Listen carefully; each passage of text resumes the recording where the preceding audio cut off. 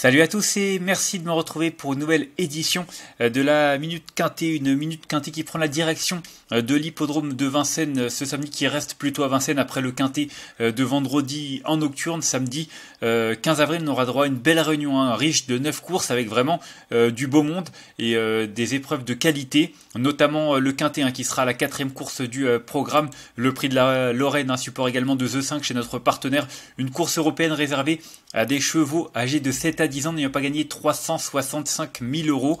15 concurrents au départ. Un parcours de vitesse, 2100 hein, mètres euh, sur la grande piste euh, avec un départ donné bien entendu à l'aide de euh, l'autostart aux alentours comme souvent et comme d'habitude même je dirais de 15h15 une course qui est mine de rien assez ouverte pour la victoire, à mon avis, ils sont deux ou trois à pouvoir y prétendre, mais derrière, c'est vrai que c'est un peu difficile de savoir un petit peu à quel sein se vouer. On va rentrer dans le vif euh, du sujet. Hein.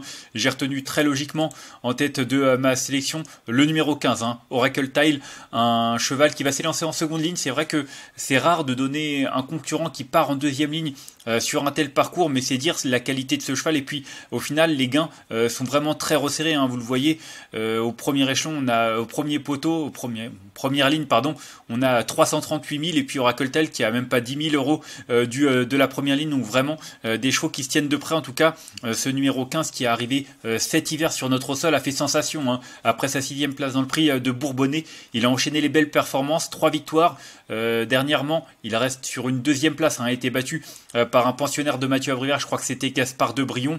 en tout cas, il a repris de la fraîcheur. Hein. C'était il y a deux mois cette tentative. un cheval de classe qui, à mon avis, est encore en retard de gain.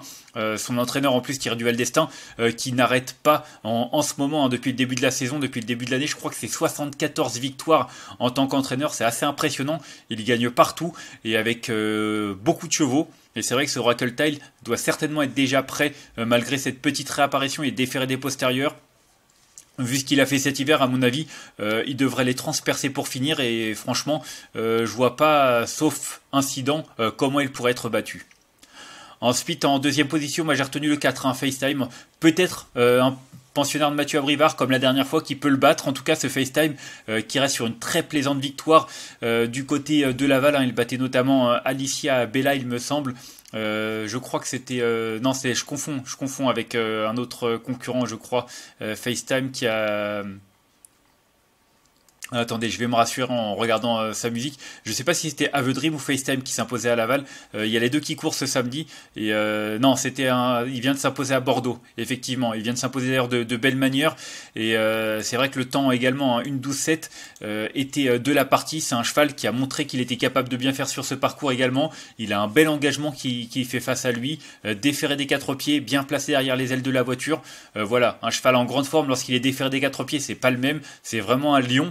Euh, je pense que pour battre Oracle Tile, il faudra quand même se lever de bonheur et avoir le parcours de rêve et espérer que son rival ait un petit coup de mot, mais franchement, avant le coup, c'est vraiment lui aussi une priorité. Et euh, voilà, pour moi, 15 et 4, c'est vraiment les deux chevaux de la course avant le coup. Ensuite, derrière ces deux-là, j'ai retenu le numéro 10, hein, Gigolo Lover.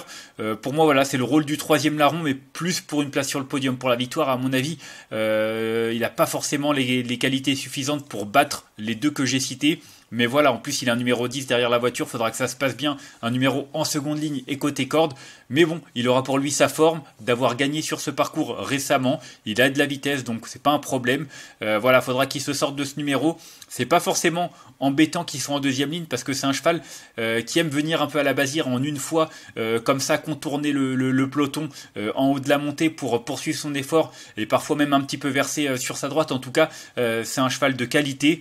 Euh, le lot est bon, mais il a rien à leur envier. C'est un 7 ans face à ses aînés. Et euh, je pense qu'il a vraiment euh, les moyens de terminer sur le podium. Voilà, c'est un des prétendants à la deuxième ou troisième place, à mon sens. Ensuite, en quatrième position, c'est là que ça devient un peu plus difficile. Moi, j'ai pris le parti de retenir le numéro 1, El Greco Bello. J'aime beaucoup ce pensionnaire d'Anne-Françoise Donati. il a toujours bien fait sur ce parcours. En tout cas, cet hiver, il s'y est beaucoup illustré d'ailleurs. Il s'est imposé, je crois, dans le prix du Jura. C'était une des courses références c'était le 15 janvier. Ouais, voilà, il battait Esteban Giel ou encore Fait de Rangeval. c'est un cheval qui, avec ce numéro 1, va pouvoir longer le rail sans faire trop d'efforts en partant. Et ça, c'est un avantage euh, par rapport à certains de ses rivaux, parce que c'est un cheval euh, qui n'a pas forcément trop de marche face à ses cadets. Hein. C'est vrai que les 7 et 8 ans vont certainement se tailler la part du lion, mais lui, euh, je pense que s'il a le bon parcours et qu'il fait pas trop d'efforts durant le parcours, attention, il est vraiment capable de réaliser une performance de choix. En tout cas, moi, je l'ai retenu quatrième et j'y crois beaucoup. Ensuite, en cinquième position, j'ai retenu le 2, un Nate Brodeux qui sera certainement très joué. Euh, c'est un cheval qui vient de faire une bonne rentrée, hein, vous le voyez, un, pensionnaire de Conrad Lugoer euh, qui a montré de la qualité. Hein. Il vient de faire une rentrée en terminant deuxième euh, il y a deux semaines à peu près. donc voilà, un cheval qui est déjà en condition avancée. Et puis il a des références à faire valoir. Hein. J'ai regardé un petit peu ses performances par le passé. Il a quand même battu une certaine Delia du Pomereux. c'est pas rien. c'est un cheval qui a donc des références et qui est bien engagé également, qui a un bon numéro derrière la voiture déféré des quatre pieds, on fait appel à Eric Raffin. Je pense pas que ce soit pour faire de la figuration, à mon avis, il va lui aussi réaliser une belle performance. Ensuite, en sixième position, j'ai retenu le numéro 6, Ingo. Euh, Ingo qui euh, n'a pas toujours répondu présent euh, depuis le début de l'année, mais qui à peu près dans sa catégorie dernièrement, je crois que c'était du côté de Cagnes, hein. il terminait 5 de 1925 mètres. Bon voilà, c'était pas forcément si évident que ça, il est plus à son affaire à mon avis sur la piste de Vincennes. Ce parcours, il n'y a pas de souci, il l'a déjà prouvé qu'il était compétitif euh, sur le tracé de vitesse de la grande piste de Vincennes. Numéro 6 derrière la voiture, c'est assez correct. Voilà, des et des quatre pieds, je pense qu'il va faire sa course pour la victoire. C'est clairement difficile pour le podium, faudra vraiment que ça se passe bien, mais pour une 4-5e place, il a vraiment son mot à dire. Ensuite, en septième position, j'ai retenu le 12, hein, Esteban Giel. On l'a souvent vu euh, réaliser euh, de belles surprises durant l'hiver. Vous le voyez, un hein, performance un petit peu en dents de. C'est un cheval qui a pas forcément trop de marge euh, face à ses cadets, mais je trouve qu'il a un bon numéro derrière la voiture en deuxième ligne parce que le numéro 12, il va pas forcément faire beaucoup d'efforts par rapport à des rivaux qui vont peut-être devoir faire le forcing pour se rapprocher en dehors. Lui, tout ce qu'il fait de mieux, c'est attendre et venir pour finir. Et c'est vrai que s'il arrive à appliquer cette tactique avec ce numéro en seconde ligne, il est pourquoi pas capable de venir prendre une 4-5e place à une cote spéculative. Et enfin, en huitième position, j'ai retenu le 9 Al Capone Steka. Bah, Al Capone Steka, je l'aime beaucoup. Euh, c'est un cheval qui a vraiment réalisé de belles performances depuis qu'il est arrivé sur notre sol. Il s'est beaucoup assagi, hein. il l'a montré euh, en fin d'année dernière qu'il était beaucoup plus euh, sage. Maintenant, il a le numéro 9. Ça m'ennuie vraiment ce numéro 9 parce que c'est un cheval qui n'a pas non plus une marge de dingue. je ne sais pas quelle tactique va adopter Gabriel Germini. S'il part, j'ai peur qu'il brûle un peu trop de kérosène. S'il part pas, j'ai peur qu'il se retrouve un peu loin, donc voilà. J'ai retenu huitième un petit peu dans le doute, mais c'est un cheval qui a vraiment la qualité pour aller avec cela. Pas pour gagner, mais plus pour une petite place. Et en cas de non partant, j'ai retenu le 3 Grand Art, un cheval qui effectue sa rentrée. C'est le seul petit bémol que j'ai euh, contre lui parce qu'il est déféré des quatre pieds pour cette réapparition. Du coup, on peut penser euh, qu'il est quand même déjà prêt. C'est un cheval euh, qui a lui aussi réalisé de belles performances euh, face à des très très bons chevaux.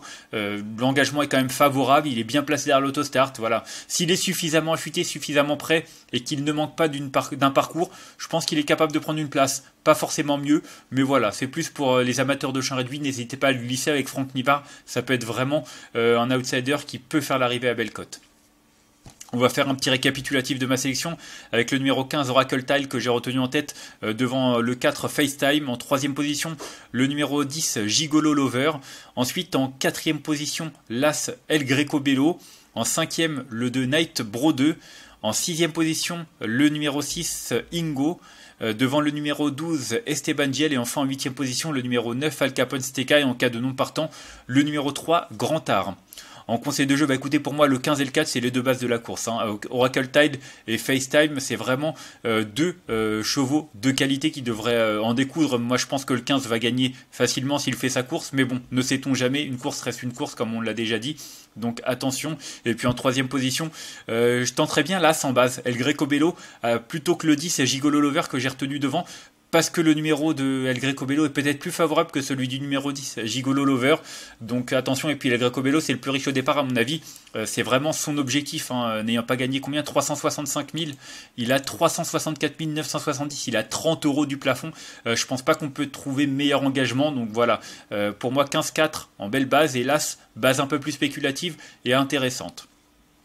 On va faire un petit tour du côté euh, euh, du quintet euh, de ce jeudi 13 avril du côté d'Auteuil. un quintet remporté par le 5, un flash d'avier devant le 4, New Présidente.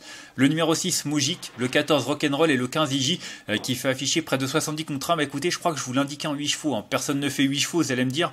Mais c'est vrai que indiquer le quintet, c'était pas forcément une mince affaire. Et puis, il est plutôt rémunérateur hein, quand on voit les rapports. Regardez, bon, dans l'ordre, il y a eu un une trouvaille, en tout cas dans les ordres, il fait 1000 euros pour un. Euh, donc voilà, 1000 contre 1, c'est vraiment pas mal du tout.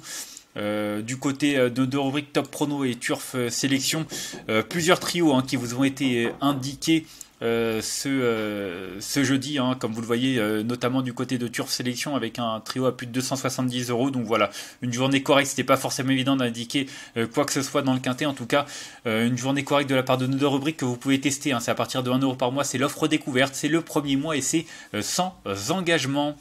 Euh, moi, je vous remercie d'avoir suivi cette nouvelle édition euh, de la Minute Quintée. Si vous avez aimé cette vidéo, n'hésitez pas à la liker, à la partager ou encore à vous abonner à notre chaîne YouTube en cochant la petite cloche. Moi, je vous retrouve demain euh, du côté de Longchamp pour terminer la, la semaine. D'ici là, je vous souhaite de bons jeux à tous. Bye bye.